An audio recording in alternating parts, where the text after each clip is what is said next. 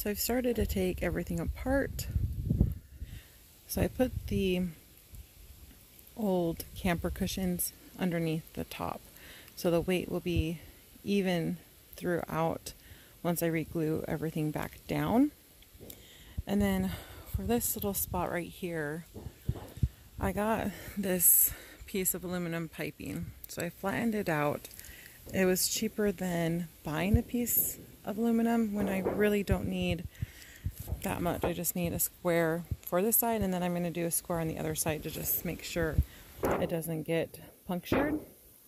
And then I'll be re-gluing everything back down. I have all my table pieces and bed piping over here drying. So here we go. I'm using this epoxy Gorilla um, epoxy to glue the piece of aluminum to the camper top.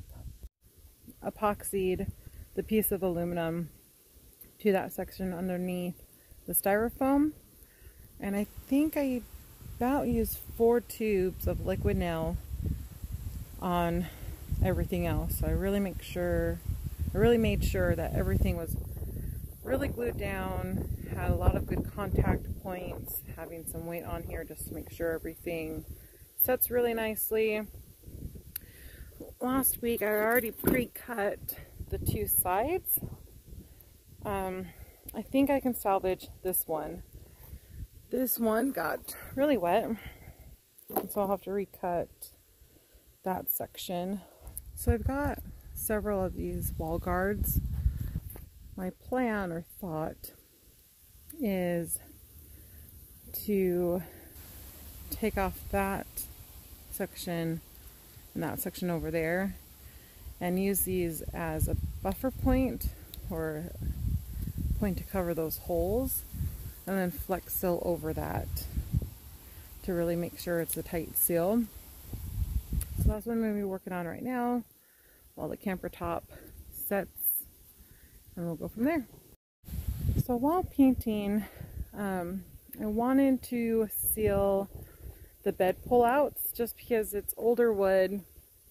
It's probably been through a lot of wear and tear and I really just wanted to seal it to make sure none of the weird smells were coming through just give an extra layer of protection against any water damage. Um, and then I've also painting the rod. Um, this rod, if I can try and do this, goes up. And then there's this middle part that connects from the middle of this one. Um, there's a rod that connects to it and then goes up to the top of the roof camper. Um, where it connects where it connects, there's some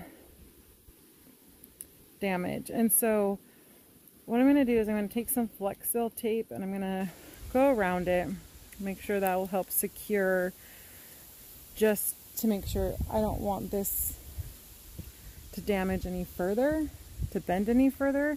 So with this flex tape is a super thick, that'll help kind of protect it from bending anymore and then I'll paint over it and then I'll move everything from that side over here and I'll do the other side as well. I took out the extra paneling and from all the rain we got last weekend a lot of it got damaged so the extra pieces I thought I had to be able to replace the paneling that I already glued in isn't usable. I think this is almost in worse shape than the stuff I took out. I try to use this piece and when I was trying to put it in, you can see it cracked because of the water damage. I'm to have to recut two of these and try and use these. So I'm to probably going to have to just glue it down. Use a lot of glue and a lot of weights to hopefully glue it down straight. I'm not quite sure what to do.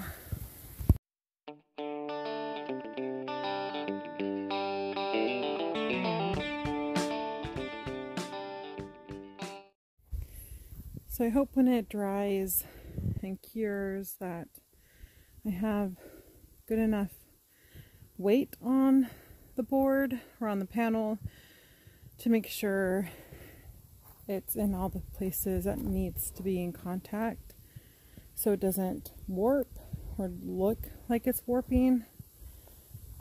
Um, so we'll see what it looks like tomorrow. I think I'm going to call it a day recap of today. I pulled everything off that I originally done and I cut the two sides, put the two sides on, got this side re-glued, got all the boards re-glued. I ran out of liquid nails, so I can't do the other side. So I'll have to pick up more liquid nails tomorrow so I can cut that one and get it glued. I've painted both bed pullouts, um, painted the wood, and then I've also painted the poles. I think this one will need, yeah, this one will need a second coat. It's just the paint can is helping hold down the board. This is a mess. Um, but I'm going to call it a day and come back tomorrow and hopefully make some more progress. I'm hoping I can get the roof done to where I can start caulking things and getting it ready to paint. Um, maybe tomorrow I'll start working on these boards to go along here um, that would be an easy step to do while that is gluing down. Yeah. Hopefully from here things start moving at a consistent pace. Hopefully no more holdups. That will be really nice.